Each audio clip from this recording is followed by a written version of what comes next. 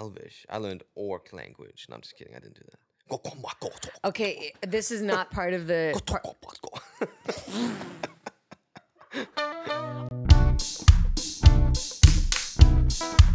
hello, hello. I'm Dana. This is Words That Move Me.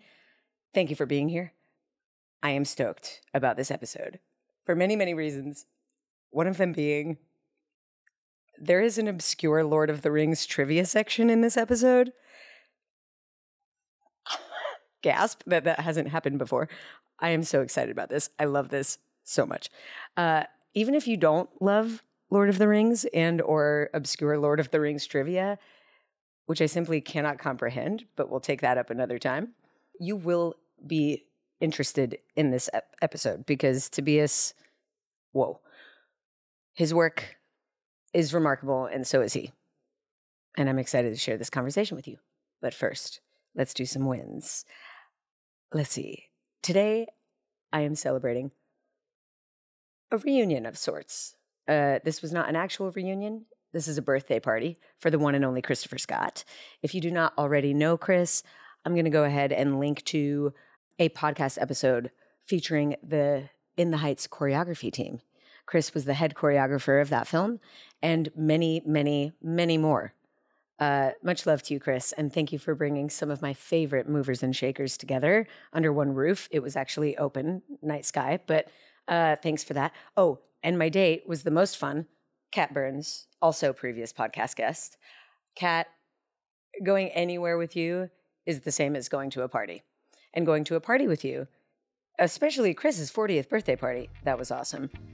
I wish I had like a party favor, like a noisemaker of some sort right now. That would be appropriate at this moment. Anyways, I digress. That's my win. Now you go. What's going well in your world?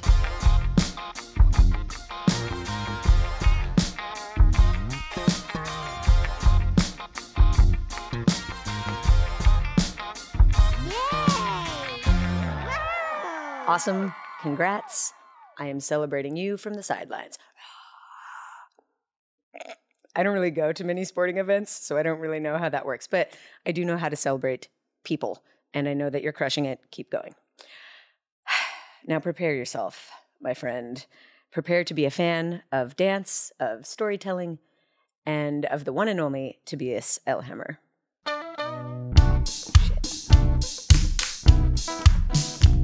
That was for you.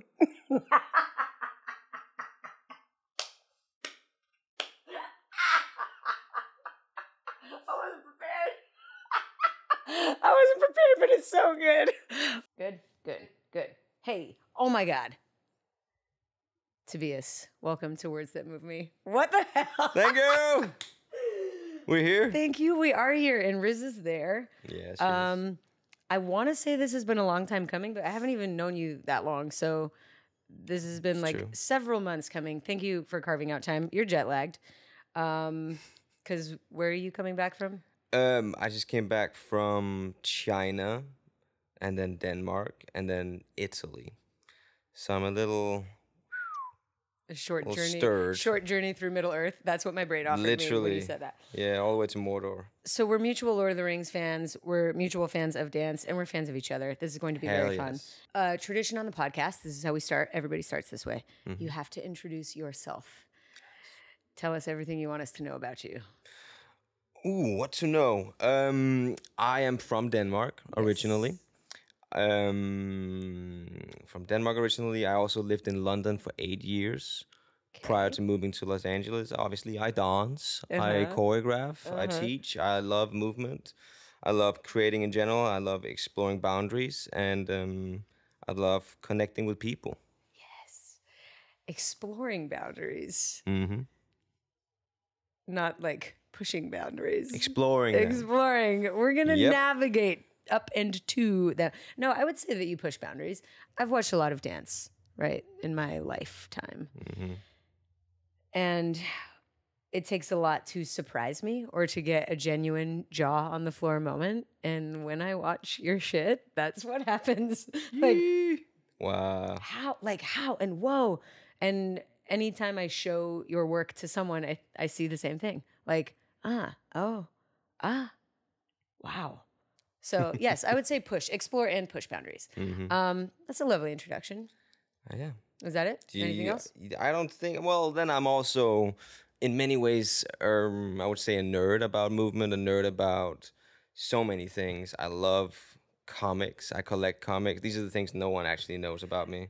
Well, Collect comics. Almost, and- almost. well, except for a few, I guess. Except for people who take your class. I think Fair. you've been open about like uh, the things that light you up. I've only taken your class a few times, but Yeah. you're very generous with your students, and I think uh, it's like taking someone's classes, knowing them. hmm But I think you share you've shared a little bit of that before. But I don't mean to stop you. Carry on. You're a nerd.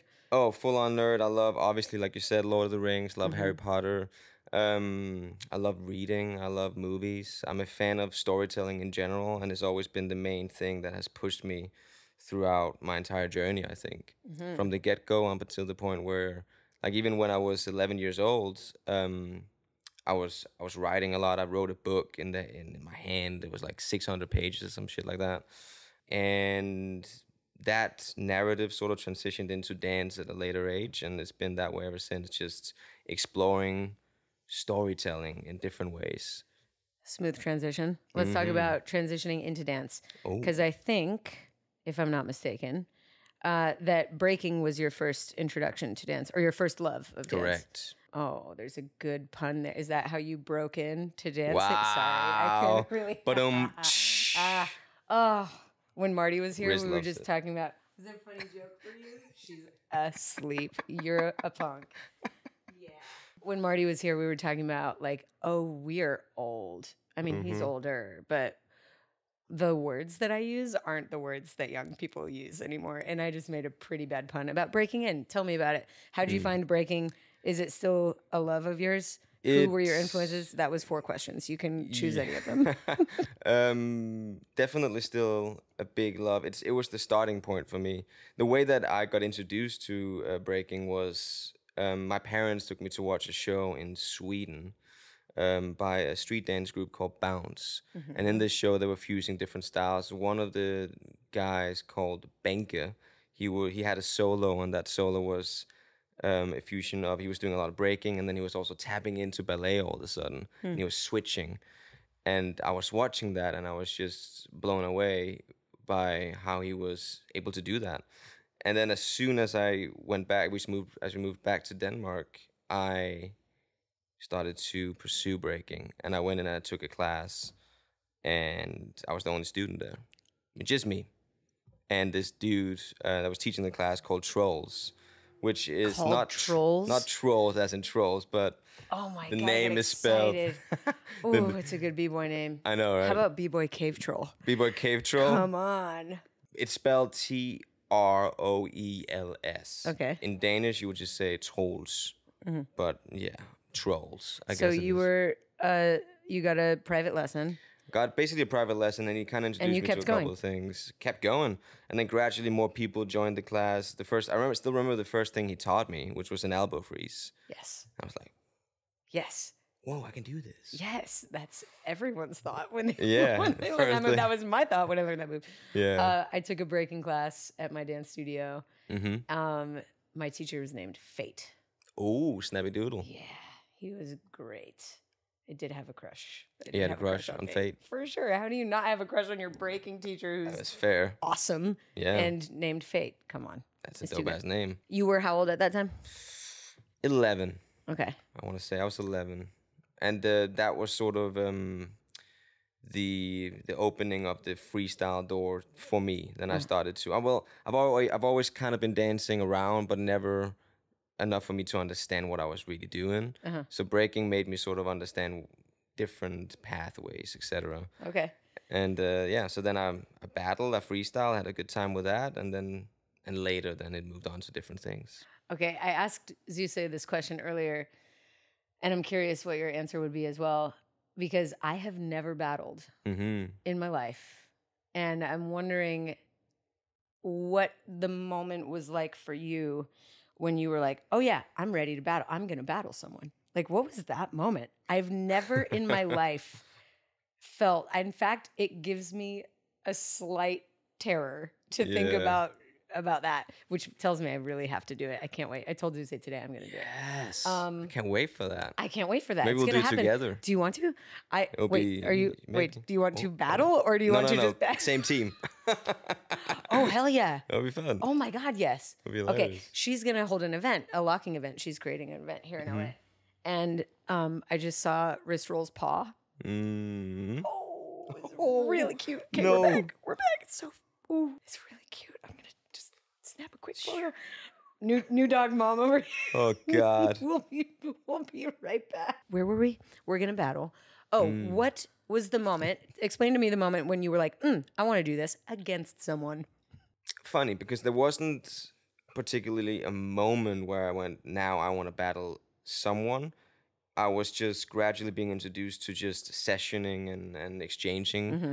in the class space of breaking because that's the nature of the style, you know. Or that was how it was introduced to you, anyways. Yeah, exactly. And it was just the way it was. Like we took rounds, and then we were in. I would say the last. I'm really trying to think how it was because it's been. It was a kind of a long time ago. Yeah, sorry. Um, but it, maybe the last ten or fifteen minutes, we had been up until though that end of the class, we had been going over different techniques, etc. And then the goal was to test it all out at the end in a free, open circle space. Uh-huh. And then we all had to go out got it. Got it. Got it. and and then eventually that transitioned and then i started to actually kind of um i got introduced to the to the battle the danish battle scene which was very low key because i lived in a small village outside of copenhagen so it wasn't even the grand scale mm-hmm. but i started to sort of battle alongside my my teacher eventually uh-huh. and that was just kind of how it happened. So he sort of helped me through that whole process and made me feel okay and comfortable with it. Nice, So I okay. wasn't too, you know, scared about it or like too Yeah. anxious. But I would say now more than ever, like now I'm actually more anxious about doing it, Oh yes. which is fascinating. one in a way. hundred percent. That's just the nature. Because back then I was just so green to the whole industry and to the whole world. So I just I wasn't scared about throwing myself out there. But now in a way, it's a little different, you know. Even though Mm-hmm. you preach, because I've been there to hear it, hmm uh, that oh man, I'm gonna get the words back ass words. Um, perfection is the enemy of greatness. Is Ah, that what it is? What is it actually? What is Death it? Death of greatness. The death of greatness. That's what I usually say. Same Well, shit. it doesn't mean that you won't be afraid. Like you're a person who actually believes that. I know you Yeah. Mm-hmm. actually believe that. That doesn't mean that you don't want to be fucking perfect slash Mm-hmm. great when you do anything. Mhm. And I think thinking that way is part of why you are great, is because you strive for like damn near close to perfection, Mhm. or we'll call it greatness. Mhm. But yeah, like I, I'm similar in that it took a long time for me to rewire for myself the idea that failing is actually winning. Like doing it wrong and losing 100%. is the right direction. Like, yes, that, more that. Yeah. But no matter how many times that lesson gets underlined and no matter how deeply I believe it, I really do still want to be perfect and I do still want to win. And I do think that I would lose. Yeah. if when battle happens, because it's not, and I'm also realizing my n- absolute naivete and even asking, like, what was the moment you decided to battle? It's like asking somebody that grew up in dance class, what was the moment you decided to go in groups? Yeah, right? Yeah. It's like it's the moment when when you're there because that's the water that you're swimming in. You just do it. It's just Eventually. it's just not the water I swim in. So I'm like, tell me everything about that. but also because now for you it'll probably be more of a it'll be more of a decision to do it rather than it's not going to happen naturally no exactly in my world. I will seek it out. I will sign up. I will do it. Well, first I will train. Yeah, then I will yeah. seek it out. Then I will sign up. Then I will do it. Um, but I'm excited Oh about it. shit! I Let's- can't wait for that. Yeah. Okay. But let's team battle for sure because I will need emotional Yeah, and maybe even physical sport. yeah. Which brings me to ooh another good segue. Let's go. Um, I love that breaking was kind of your uh, first love and introduction to dance because Mm-hmm. I found it the mo- one of the most challenging forms for myself personally, and that is because my motto is strength is not my strength. Mm, And I found so much limitation from what I saw about breaking that I loved that I wanted to do, physically could not do it. hmm Part of that is like strength based, but I also blame my proportions a little bit. Mhm. I'm all legs. Mm. which makes a windmill really ac- really really hard. Yeah. And I'm so I'm all arms, all legs, and no torso, which actually means like I can I can I have a lot of space. Like when I'm doing floor work, I have a lot of space underneath me. I think I could probably be good at that. Maybe power moves, not so much. But anyways, I stopped breaking because it was hard. Mm. And at a certain point in my life, I liked doing hard things. Like I would take Brian Friedman's class and I wanted it Mm. to be the hardest combo that he had. And I wanted to, you know, roast it. And I, Yeah. you know, fell in love with things because they were advanced. Like there was a chapter of my life. And I've told you this before. Mhm. But there was also a time when I I don't know what the shift was actually, but I had this great dislike, like a distaste for things that were hard for hard's sake. Mhm. Like hard just to be hard. Like can I add another e anda in there just to like, you know, fuck people up?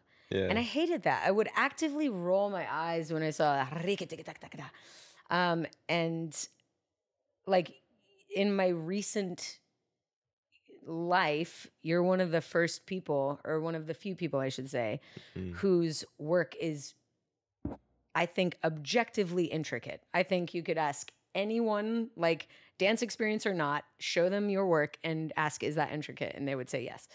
Um and I love it. I don't roll my eyes at it. I think it's wonderful. I think it's like meant to be. I almost said perfect. Did you see me catch myself? I did you see should that. zoom in on this real. Um, uh, oh, I forgot. Did I tell you in the email ahead of time? Be prepared to be flattered. Uh, no, Oh, but I'm I being, I'm very much being flattered. I feel it all. I'm being very Danish Okay. about it, but Oh, I'm good, good, good. super, super Oh, flattered. put that in the parking lot because I want to come back to that. yes. Where I was getting at is have you all you started with breaking, which I think is also objectively hard. Mhm. Anatomically, spinning on your head is not natural. Yeah, I never So- got there, but yes. No head spins ever. Okay. I tried.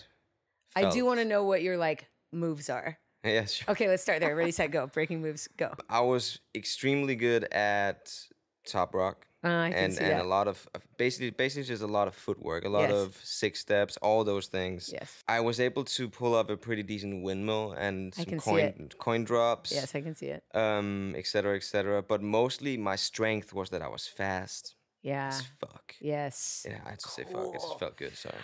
Um, that's That was funny. it. Your friend Codie also mentioned his speed as being one Mhm. of his kind of superpowers. Yeah, It's always it was always this thing that seemed to be impressive, you know, for people that was watching it. yeah, so yeah. I just leaned into that while also having a mild panic attack, dancing in front of people for the first time. So I was just like, "Ah, ah," and oh, right. So that actually fuels the strength. developed that sort of technique. Yeah. Oh my god, that's so funny. But you were on beat. You were just moving fast. Yeah, most of the time I was on beat. Interesting. I want to see that footage of you not dancing on beat. yeah. But it's excitement. Like that happens a lot. It still happens to me sometimes. Oh my god. Mm-hmm. Go for the on. for the real fans out there, Ooh, the real fonts. when Marty taught "Like I Love You" in class recently, you were there. I was. I always feel like uh, Dorothy from the from the Little Mermaid.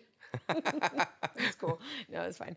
Um, Dorothy from the Wizard of Oz. When I say, and you were there, and you were there, and you were there. But anyways, you were there. I was there.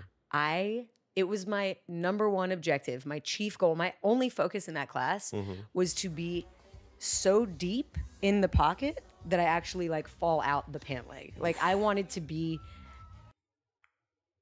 as close to late as possible without actively being late. Hmm I was blown away by it. I kept watching you Okay. over and over again in all Okay. those groups. Go Thank on. you, I can tell that wait. you have a point. Sorry. I do have a point. and my point is that if you're a true fan and have watched the clip that I posted on Instagram once, I start the combo early. uh, yeah, I know. But only I only know because you told me. Oh, did I tell you that? Already? Yes. Oh, damn. Okay. Yeah, I It's start not early. like I caught it. Like s- ah. I start early and I have a verbal outburst about it. I say, ah, like you can hear me on the tape. I, I Word shit. I didn't know that. Yeah. I gotta watch it back. So, uh, my actual question that I was trying to ask is Have you always been attracted to things that are challenging? Mhm. Is it intrinsic to you that it be hard in order to be good? Is it like, is that part of like what lights you up? Does it have to be hard?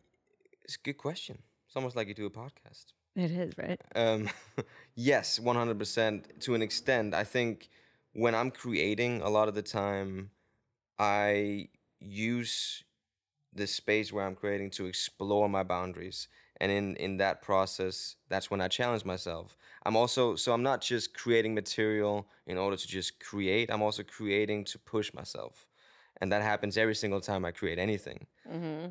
which means that obviously it gets harder and harder once i've created one routine and i figured out figured out all these new uh, pathways and challenging ways to do things and then i start to conquer those things mm-hmm. then that becomes the norm for me. Then it becomes organic movement eventually. Mm-hmm. And then once i choreograph something ne- the next time then i'm just starting from there. Mm-hmm. Therefore it continuously just becomes more and more tricky and awkward for a lot of people when they jump in at first because it's building on so many layers of Yeah, yeah. conquering awkwardness but i get such a high out of finding new pathways and discovering things that I wasn't able to do before and sort of it makes me feel alive in a way that I can't that I don't think a lot really tops. That sort of whoa, I just came up with that shit. I wasn't able to do that a week ago. Yeah. Sometimes there'll be it'll be a week before I'm able to actually pull any of Ooh. that shit off. Whew, that's cool. Mm-hmm. Uh, but I think you might be missing something. Go on. May I show you a blind Yes. spot? Yes. I don't think boundaries exist just in the difficult direction, Mm. like in the harder direction. There's there's also an edge on the simple side. Yeah, this is true. So I wonder what you would look like if you pushed the edge of simplicity, it's fair. of easy. Yeah, I've Like, could I you? You hard. could. I know that you could, but it would be. I bet that you've strengthened that muscle so much, like the edge, the edge, the edge, the harder, the harder. You know so well what that feels like, and the reward that you just explained. You're going after that so hard because it feels so good, and there is equal reward in the opposite direction, 100%. which is how many step touches can I do without losing anyone's attention? yeah. like how simple can i get Mhm. before i am boring Yep. that's a, an, a challenge in another way um, Yeah. that i would definitely show up to see how you answer that I mean, it's very true. And every single time I try to do anything that's fairly simple, less is more approach, it is a challenge for me. Mhm. It's it's it just you want to fill it because wanna it. eventually I'm I'm addicted to that feeling Uh-huh. of of conquering something new and and and but it's new there high. too that's new It you'll is. have it it's just in It the is. other direction And sometimes sometimes I'm able to go down that that route, but it's way more difficult than the other. Yeah. Just because I've done that more. it's stronger it's the muscle is stronger Correct. i get it i choreographed uh, once at old ml Mm-hmm. it might have been on the spot Oh snap. anyways the combo was entirely pre-dance movement Okay. So if you watch like footage from Millennium of people doing going in groups, yeah. all the moves that they do before the combo starts, like turn your hat the other way or like, like, Yeah. get the shirt Getting right, adjust ready. the pants, oh, adjust the microphone. Yep.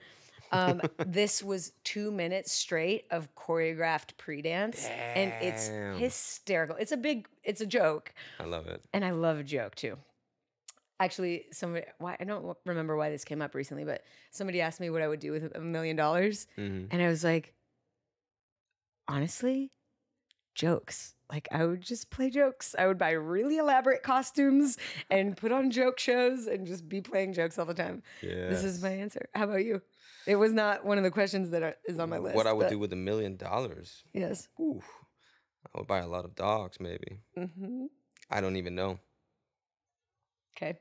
I don't even know. That's a, that's a beautiful question. Yeah. Maybe I would create movies. Okay. Well, I'll you- try to with a create some. million bucks, you'd probably Create create, one. one. Create a low budget one movie. Low budget single movie. You know what I would do actually? Right now, if you ask me that question, I would. Wow, this is true. I this is an honest truth. I would stop taking new work and I Mhm. would train. Nice. I I was like, I wish I could get paid to train. And if I got a million dollars, I you I would, would. be able to oh my god, just go, go, go. yeah. I feel that. And just I would love to do that. Stop, Yeah. stop, stop. I would join you. hmm That'll be nice. I definitely need need that. Do you feel a void? Because you've been teaching a lot. I always Right feel now. A, a, like I can tell when I've been uh, pouring out Mhm. instead of pouring in. I can tell when it's time when I need to refill, when I'm Hell stale, yeah. when I'm tired of hearing myself say the same lessons. Yeah. I'm like, oh, I need to be training. I feel that heavily right now. Yeah. But I also obviously I love teaching, but I do read it because I just finished my my second week of my intensive. I did Mm-hmm. two weeks in August. Congratulations. Oh, thank you very much. Mm-hmm. And that led that led into uh, then going to China and etc. Denmark, Italy, and then got back and leaving again tomorrow. So it's been a lot of teaching. Mm-hmm. So I do really miss just Being getting in stuff. class. I know. you know. Getting oh my god, better than a movie. And I also love movies, Mm-hmm. but going to class, you get to watch live Yes, a dance show happen one hundred and percent. And also dance your actual body. yeah, And also learn. Are you kidding me? Dance class is the best place on earth. I'm in a am in a slightly opposite. I have been teaching a lot, but relative to recent years, Hmm. I am more in class now than I have been like in probably 10 years. which is awesome. Awesome. Yeah, Like to be not, people would be mad at me for saying, but like nearing 40, I'm Mm. like you I guess you could still call me mid, mid am I officially mid to late 30s if I'm 37? Like mid to late.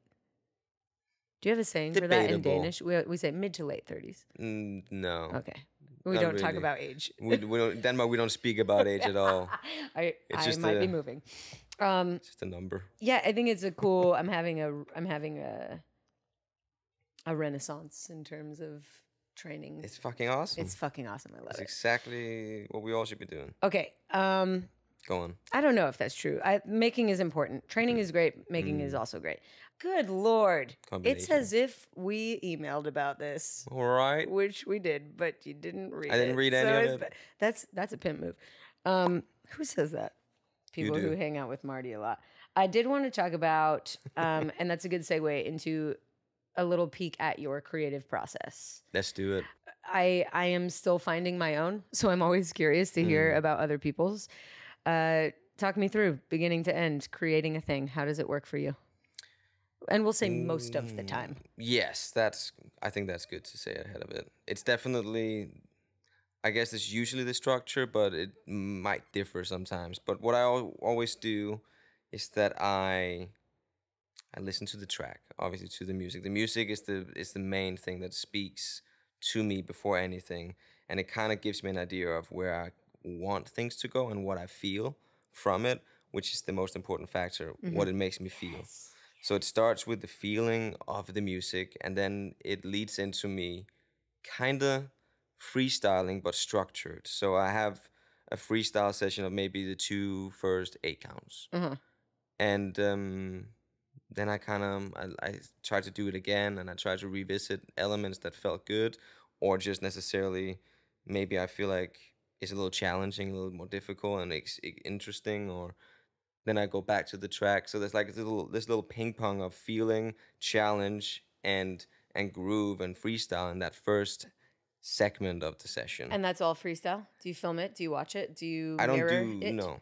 I don't. I don't. I don't do it with a mirror. I stay away from a mirror always. Uh-huh. The mirror is my enemy in many ways. The floor is my best friend. The mirror is my worst enemy. Interesting. Up until the point where I start to feel like I'm happy with what it sort of is, then I'll take it to the mirror. But that doesn't happen until I want to clean it up. Yep, yep. So I I some I basically over it could take me one day, it could take me two, three, four, it could mm-hmm. take me two hours. Mm-hmm.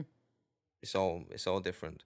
But it all starts the same way. It starts with the feeling, then it starts with the groove, and then I add challenges, not just to add the challenges, but to to challenge myself in that process. If uh-huh. that makes sense. Yeah. To explore and see where things can go in different ways. And if it feels a little too organic for my body, if it feels a little too natural, Uh-huh.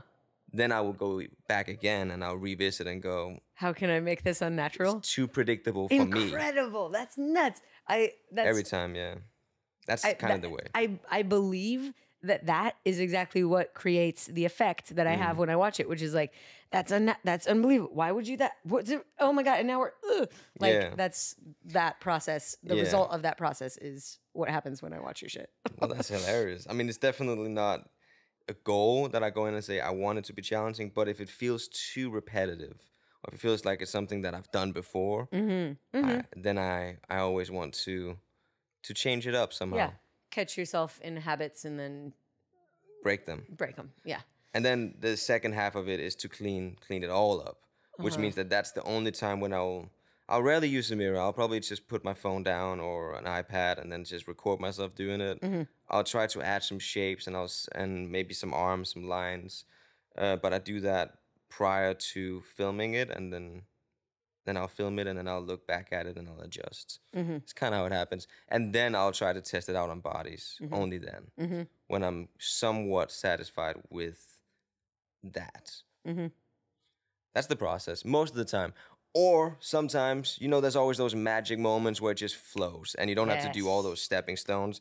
but I do ah, find it, Flow. yeah, flow, yeah. Oh my God. Oh, the I- uh, ephemeral, the elusive. I mean, yes, it's it kind of that's a it's rarer for me that flow, things just fall out.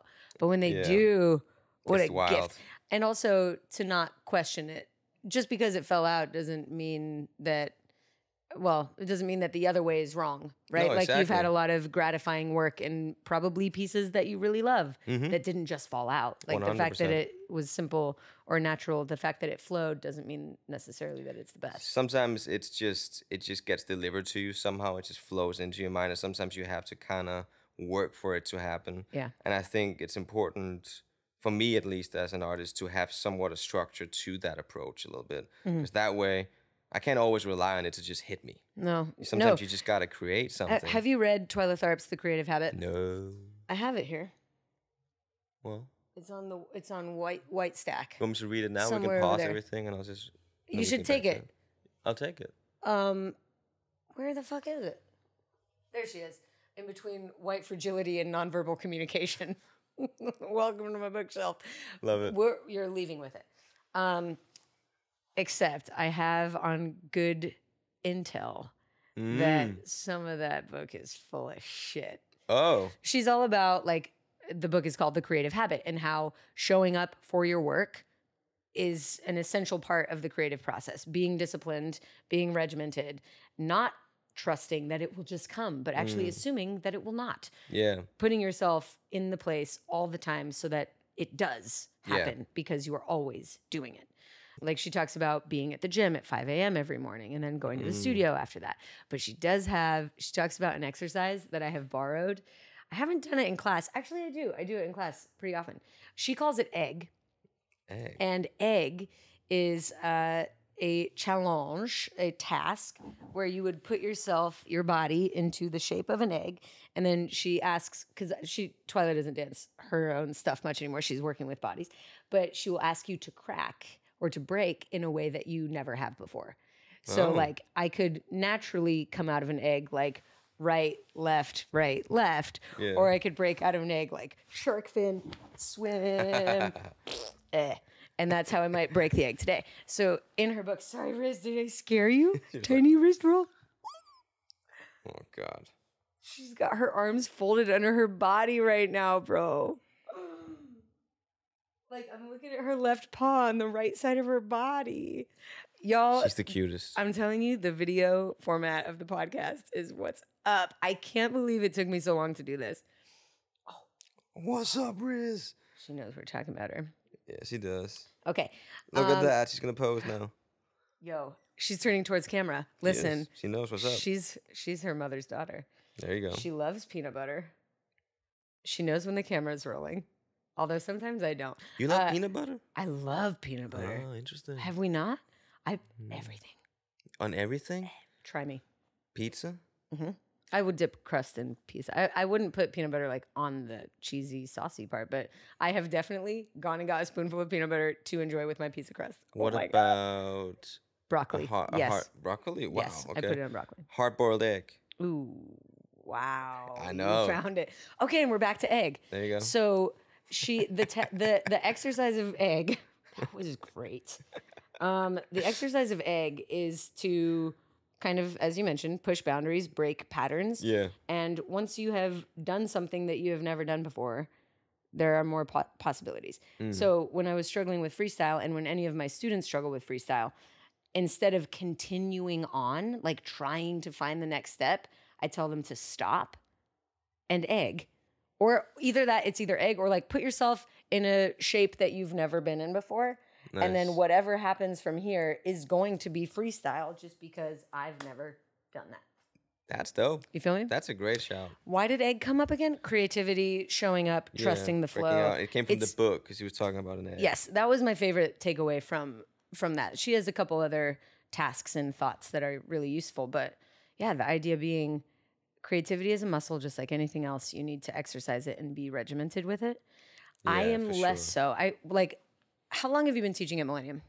Since February 2022. That's when I officially started. Okay, that's not that long, but you were like religiously every Friday for the most part. For sure. And how often do you think you teach new material? Um, I it depends. Mostly, I would teach the same routine over the course of either two or three classes. Okay. So that's a year of every three weeks, something, every two or three weeks, something new. Yeah. Your make muscle is strong. Yes. I I am envious. I don't I, I don't definitely don't create combos that often. I might I move that often Yeah.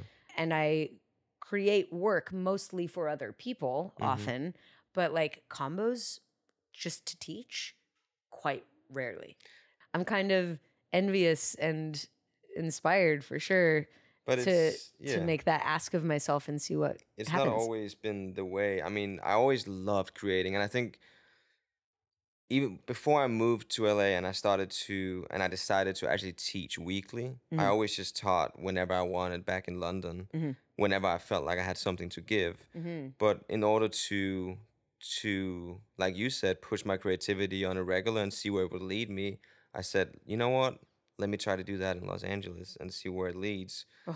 it's always been something I love doing because it's just free space. You know, there's there's no, no rules, there's no anything. I get to do whatever the hell I want. Nobody's telling you what song to use, that you have to have a certain person in front for this chorus or for that verse or whatever. Yeah. It's just there. It's just freedom. It's, so much freedom. Listening to what I want to do and what feels right in the moment and what song speaks to me, and then I get to do that shit. And that's a part of why it's getting easier, I guess. But then there's another thing. Funny, I was actually talking to Easy Twins about that. Easy Twins, some of my good good friends from Slovenia that I've danced a lot with back in the Mhm. days. And when we always used to create together, I always told them to that we should try to finish on a high. Mm. So that we are excited to return to the project. Mm. Because sometimes when you're creating something and you find yourself dried out and you go, oh, okay, now I have no more energy, uh, then it's like you don't want to return to that feeling again the Mhm, next mhm, day. mhm. But if you finish as soon as there's something dope you just made, then you're excited to return to that dope thing you just made. And that's been also something that I've been trying to incorporate in my process. I love that. Taking it similar but different. Thanks. Um, I think it might also be a Twyla thing that, that Uh-huh. where she says, "Oh fuck, I could be wrong." Um, the idea is, in fact, to end Mm. before you know you're done. So, like, actually leave it definitely on a high note, Yeah. but leave it with a few more steps left to go that you know you have to take, hmm so that the next day you come in and the first steps are there Yes.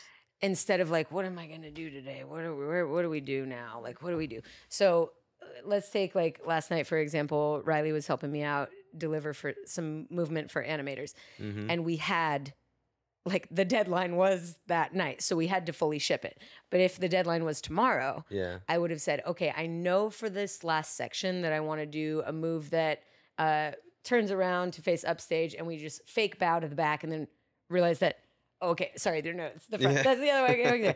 And so we'll figure that out tomorrow because I, I know what we want to do. Instead of just like, oh, let's just finish it tonight, which I'm tempted to do because I love finishing things. hmm I would leave that for the next day so that you get the ball rolling the next day and then everything else can flow with it. Mm. I really like that idea. yeah. In theory, uh, in practice, I don't. In practice, I don't do it so much, but in theory, it sounds really good. Hell yeah. Do you have any other work hacks, like or or things, tricks, maybe if you ever find yourself in a block or something like that that work for you, like egg, for example. like an egg. Um, I I usually don't have a lot of blocks when I'm creating. If I'm being honest, I love that answer so much. I was on real. I was on a panel with somebody who answered that. They were like, "What do you do when you have creative block?" And she said, "I don't." and I was like, "Oh, wow." yeah. It just doesn't happen to you that much. I guess when I'm creating to create for myself and explore, aka when I'm creating material for when I'm teaching, etc. No, I there's rarely a block. But there will be blocks when it's more professional, maybe, or it's something that I know that I'm I have to fit it within a specific box. But then I'll have a bit of um, I guess you could call it a textbook material that I can always tap into in a way. Like vocabulary, like moves, like things, phrases. Yeah. that just speaks and is, is easy for me to to transition into excuse me He was saying transition into exactly. as they were transitioning out of yes my neighborhood at a high rate of speed. love it Um, Riz, when we're on walks, she really gets interested. Are we having this talk right now? yes i'm very much into what riz is doing She gets really interested in people coming and going, and she Uh-huh. will wait for them to come, and then she will watch them go until they're far enough away that she knows they got where they're going safe, and then she can carry on. Same is true with cars. If she watches somebody get in their vehicle, she'll wait for them to pull out and down the street, and then she'll go. oh my god! And you know what's funny? what Also, so do I. I sit there and I'm like, okay, yeah, we'll blame this on you, but but you do the same yeah, a, match made in heaven I'm, what up I'm sort of, in general, I'm curious about people. Uh, I guess podcast is a perfect example of it, but that makes sense I care about like what drives people and what where they go, and Mm. I think it's pretty clear you're driven by challenge. You're di- driven by expanding uh, what is possible for you and for people. I Mm. think you've extended that beyond yourself and into your students. Mm. Um, well that's great that being makes me happy. like I don't think that you being a regular teacher is for you. Mm. I think that I mean it's a bonus that you get to a free space to exercise your stuff, but yeah just just speaking from being in the room, you're very generous and you and the consistency.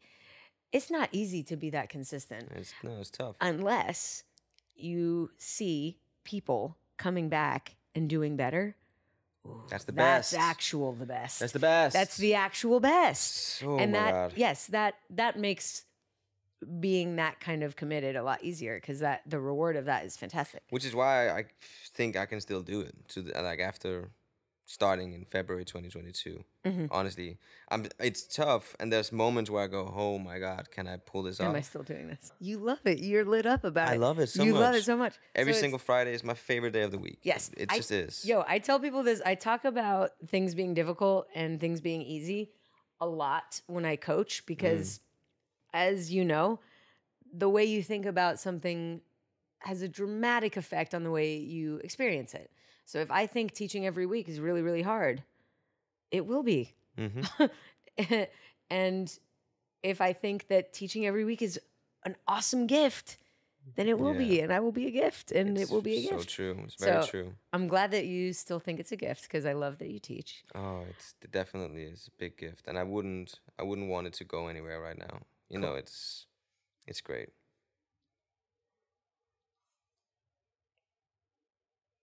I'm just saying it. It, it, it class is one of those things that will be there forever. But Mhm. and my finger to the wind tells me that your regular class schedule will be interrupted. Yeah, you probably. I mean, I wouldn't be surprised if it were to happen. There's obviously elements and things that I would be open. It's not that the Friday class is like the thing that I will do, and no matter what. But I just love it. It will always It's- class will always be there, and I think Millennium will always be there. This is Could you? true. You know what? That's something we take for granted. Mhm. If the pod, if the podcast, if the pandemic, p words are hard. If the pandemic taught us anything, it's that. You're doing great. Give Uh, it up for Dana. Let's go. Studios, spaces where we can do what we do. Yes. and I like to say this all I say this all the time because um, my mom is from a very my mom is from a big family. I am from a big family, but my it's going really well. My mom is one of eleven. Okay. My mom is one of 11 and she has she's got two brothers who are both professional snowboarders. Mm-hmm.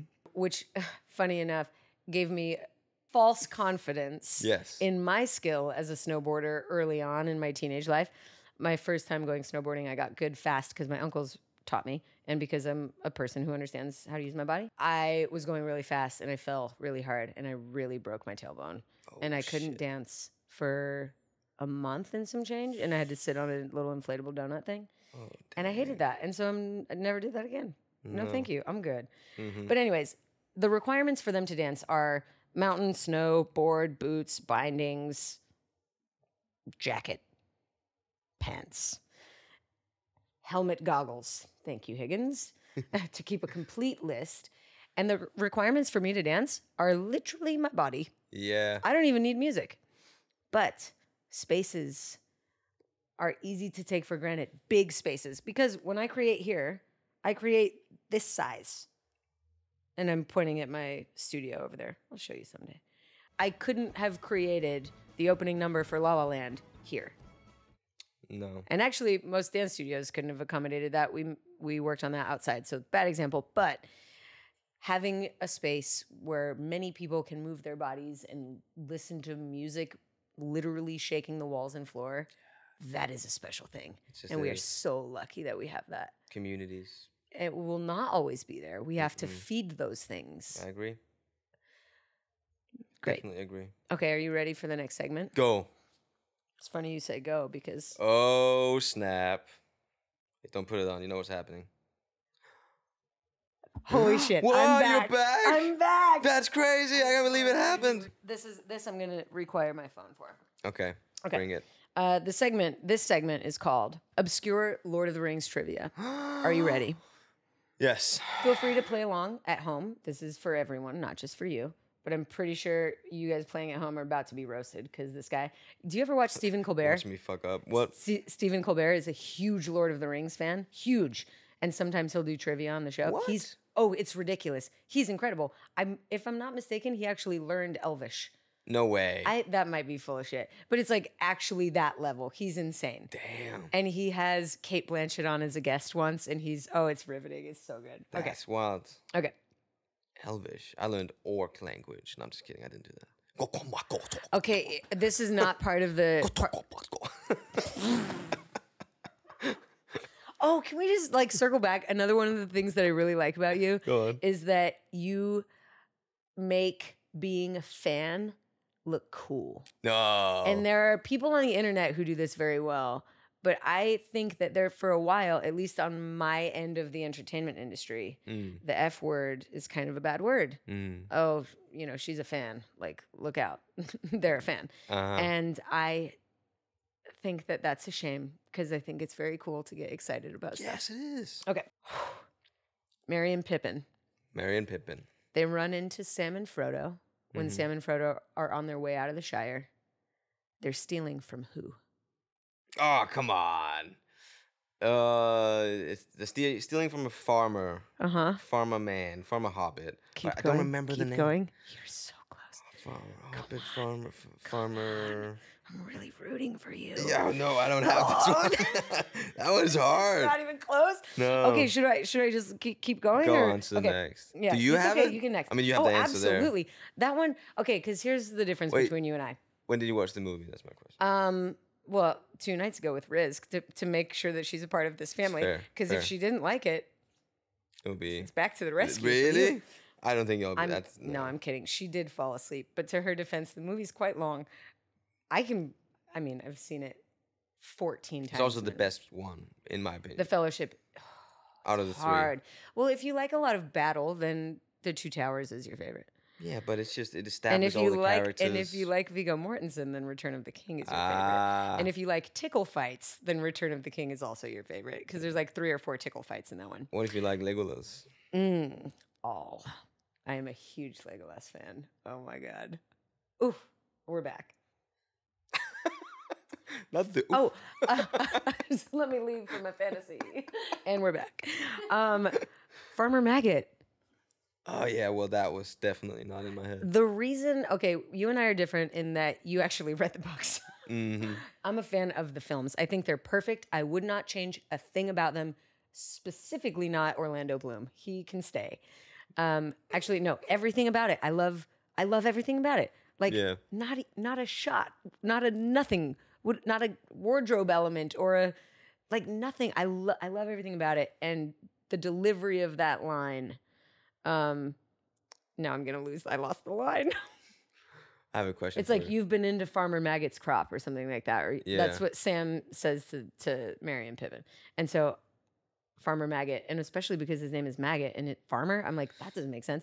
And so that really stuck with me. Farmer Maggot. I thought you. I do remember it sticking out, but not enough to remember it. Okay, sh- I'll, shall I go a little easier on you now? Maybe, maybe, Okay. maybe make me look a little bit cooler. This one's multiple choice, so you've got Oh, interesting. Sam Uh-huh. Wise Gamgee Uh huh. is Frodo's A cook, B Come on. Wait for it because it's actually a trick question. B, gardener. C, tailor, Or D, secret boyfriend. I think it's D, but I obviously it's Gardner as well. It's But D. It's it's a combination. It's B. 100% it's, it's secret BD. boyfriend. Obviously. Oh, there's no bless. no way. There's that's no way around that. Oh, Secret, Sam. secret boyfriend gardener. Oh, Sam. Oh You my know god, there's It's- some very there's tender moments. Deep love okay, in there. okay, okay. But I was gonna include this one, in, and then I just thought it was too much Sam oriented. Mm-hmm. Um, Sam's Frodo, uh, Sam's Frodo, Sam's Hobbit girl crush. Do you remember her name?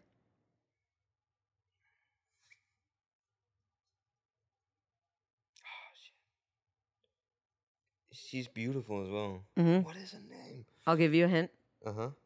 I'm not pointing at myself, but I'm pointing at my cheeks. Look to your left by your elbow. Left elbow. Yes, it is something with Rose. Is it Rose? Rosie. Rosie. Mm-hmm. Good job. Rosie. I gave you I gave you a pretty hard hint there.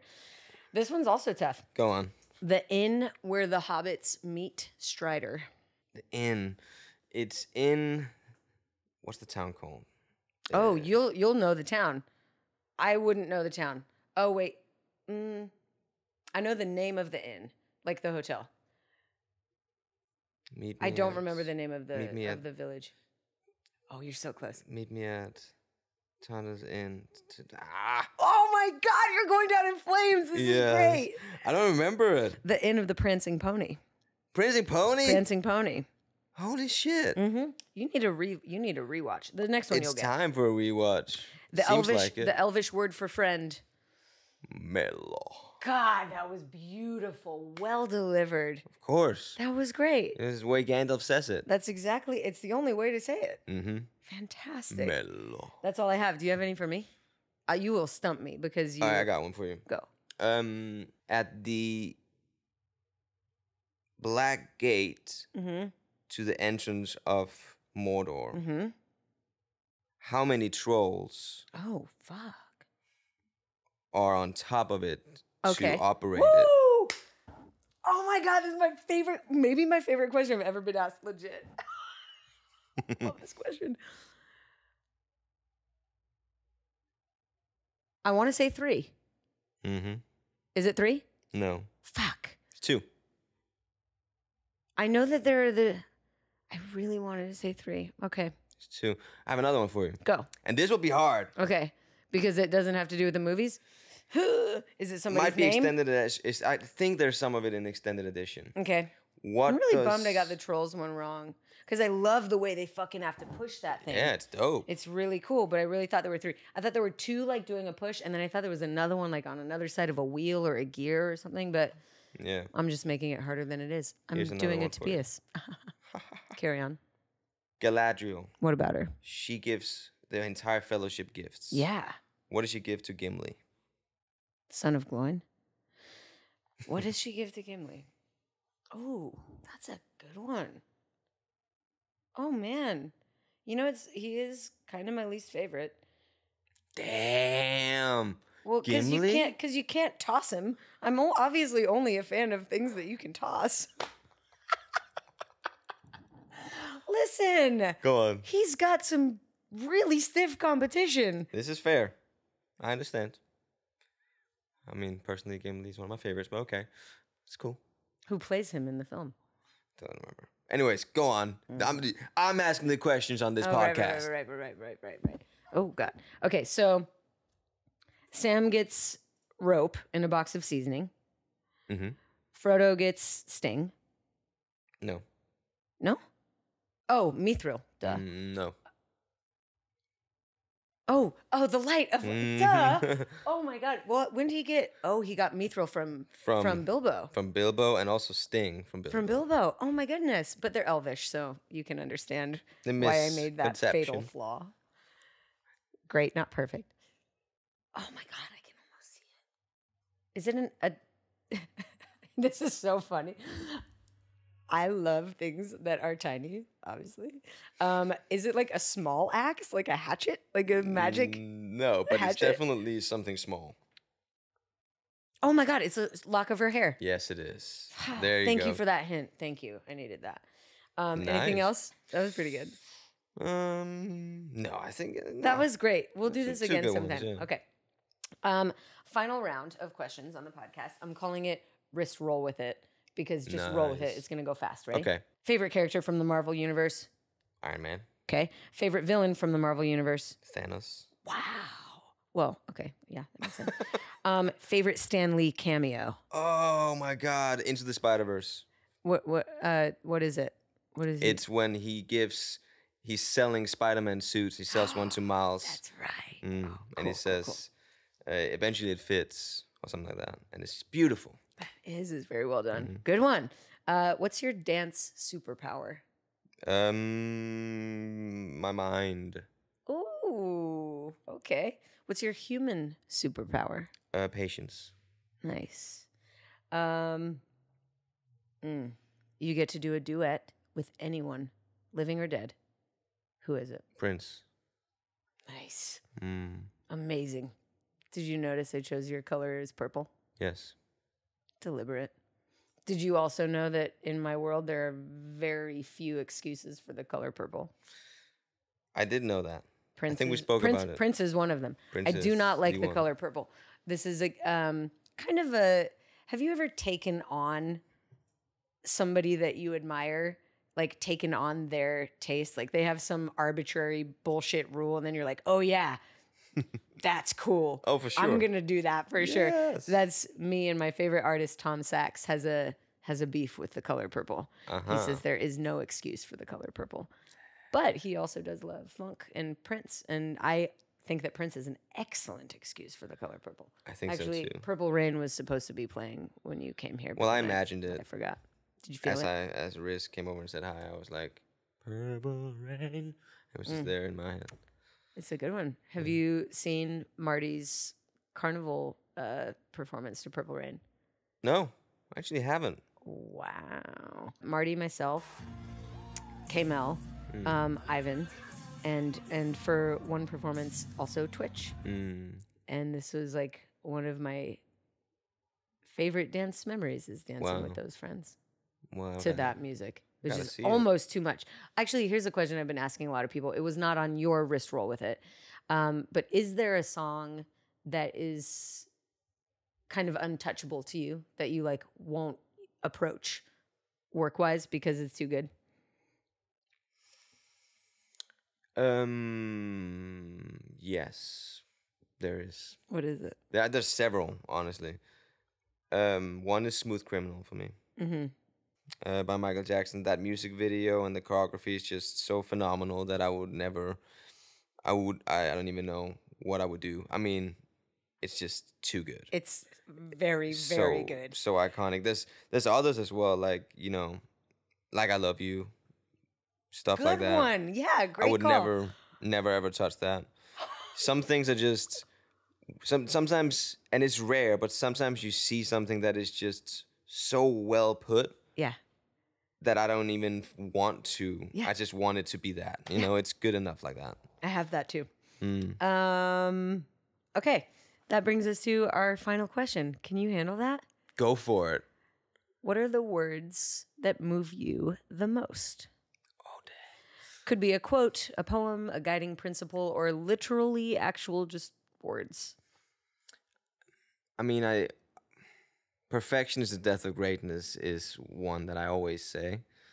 I had this uh, last night. I was teaching and I was talking about how important it is to remind ourselves to connect and exchange energies with dance and as movers Yeah. and use that and not forget what what that means. You mean like with each other? Yeah.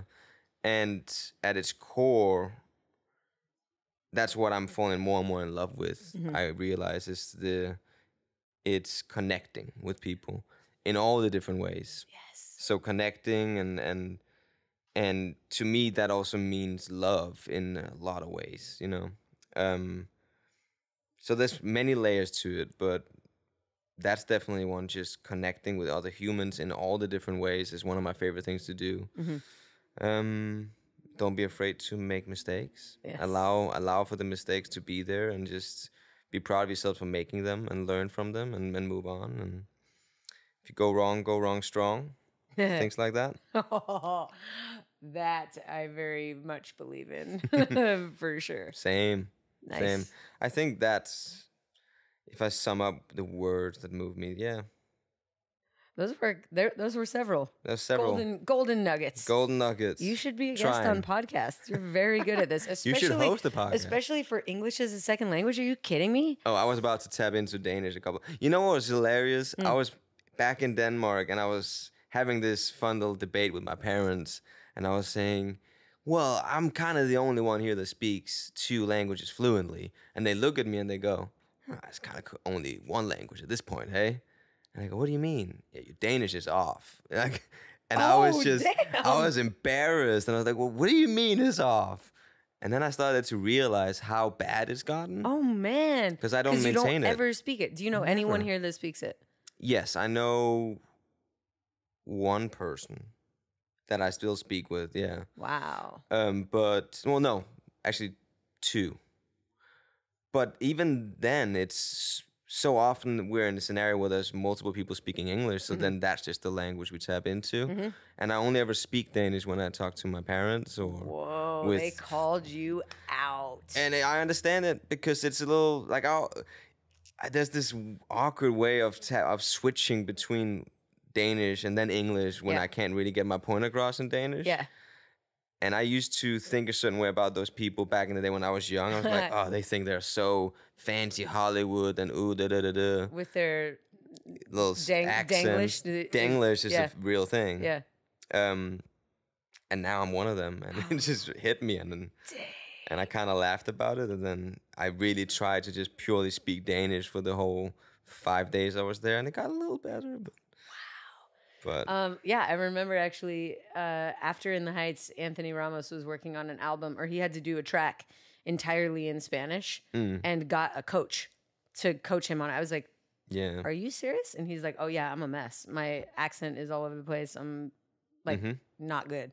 It's Yeah, crazy." it's it's interesting. It's been ten years of speaking English, so it makes sense. That makes sense. Um, that is another actually great segue into the wrap up. hmm I'm not sure if there is a direct translation, but how do you say funky in Danish? You would probably just say funky. Oh, amazing. well, thank you for being on the podcast. Thank you, everybody who's listening, and everybody, all of whether you're listening or watching or doing both. Um, keep it funky.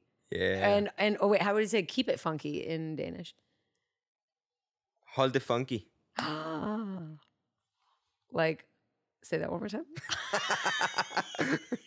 well, I had to think about it as well because now I'm super funky? self-aware. Hold, uh, du, you can say bliv ved med at være funky, or you can say hold det funky. Hold it funky. Hold det funky. Yeah, keep it funky. Thank you for watching, listening. I'll talk to you soon. Bye. This podcast was produced by me with the help of many. Big, big love to our executive assistant and editor, Riley Higgins.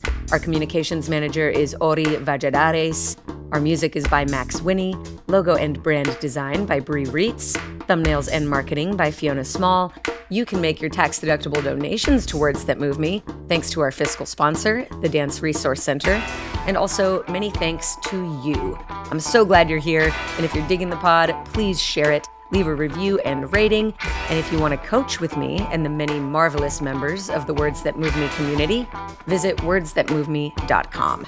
If you're simply curious to know more about me and the work I do outside of this podcast, visit thedanawilson.com.